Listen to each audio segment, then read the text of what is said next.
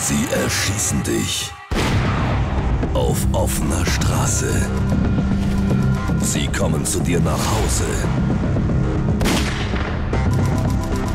Sie erpressen deinen Arbeitgeber und hinterlassen eine blutige Spur quer durch Europa.